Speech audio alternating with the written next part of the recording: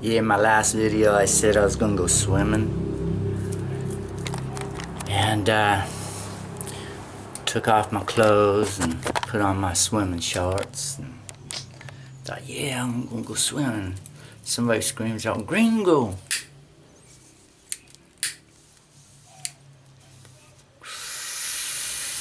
So I turn around.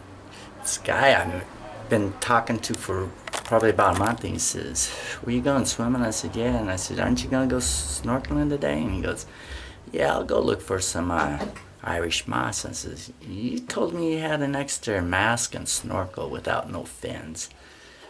Can I borrow 'em and go out with you?" I says, "I can just swim without the fins." And he said, "Hell yeah!" And I says, "Okay." So I said, I gotta go get you a joint. So that's the reason why I'm here.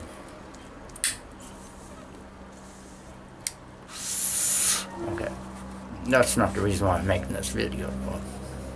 You wanna see my bedroom? Okay, I'll show you my bedroom. There's my bedroom right there. Yeah, that's how small my bedroom is.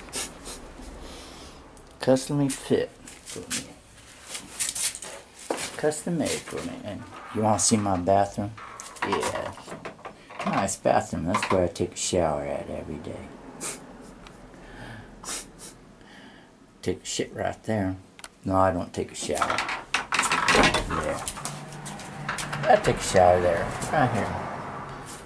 How's it going, brother? So, there's my house. How much am I paying rent? She said, pay anything I want.